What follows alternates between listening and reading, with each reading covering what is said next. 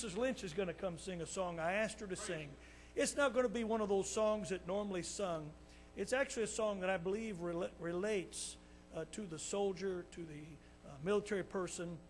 Many times, as people face great peril and great difficulties, they think about the Lord. And they say that there is no atheist in a foxhole. I don't know how really true that is. I do know this that when times get tough and things get difficult, it's always good to remember what Jesus told us. He said, Our Father, which art in heaven, hallowed be thy name. I think this song will be a blessing to you as Mrs. Lynch sings it for you. And then, uh, Brother Carriger, you're on right after that. Sure looking forward to hearing him preach. I hope you listen today. Mrs. Lynch.